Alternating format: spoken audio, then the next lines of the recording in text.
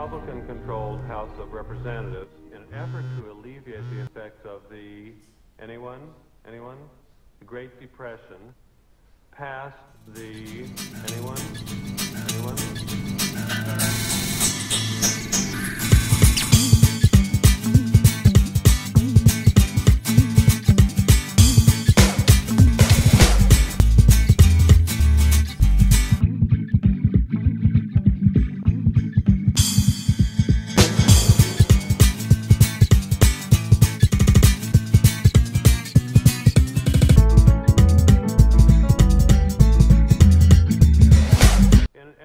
collect more revenue for the federal government. Did it work? Anyone?